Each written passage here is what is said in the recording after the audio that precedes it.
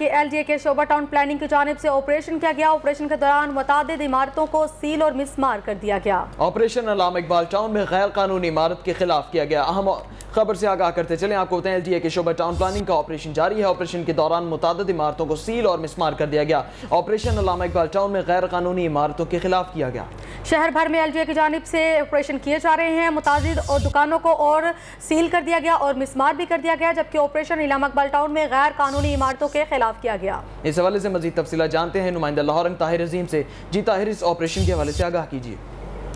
جی بالکل I D کی جانب سے صبح ٹاؤن جانب سے آپریشن کیا گیا ہے جس کے سربراہی ڈائریکٹر اظہر علی اور اسکندر ہارون نے کی ہے۔ بالکل پتہ چلا کہ جو آپریشن کے دوران دیگر عمارات کو ڈیمولش کیا گیا اور بیشتر عمارات کو جو سیل بھی کر دیا گیا جس سیل کی جانے والی عمارات میں جو ہے کمرشل ریسٹورنٹ ہے جو block number sixteen Gulshan Iqbal park میں واقع تھا اس پر بتاتے چلوں کہ ڈیمولیشن جو ڈیمولیشن پروگرام کیا گیا، وہ تین سال پرانی عمارت ایک سو ستر جو اس کے اندر بلاک میں موجود تھی اس کو ڈیمالش کر دیا گیا اس کے ساتھ بتاتا چلے کہ دیگر جو بیشتر بار ان کو نوٹیفکیشن جاری کیا گیا تھا بٹ اس پہ کوئی عمل درآمد نہ کیا گیا جس کی وجہ سے انہوں نے وہ قانونی کارروائی کی تھی۔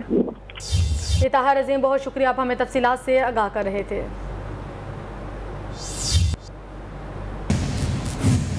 اور اب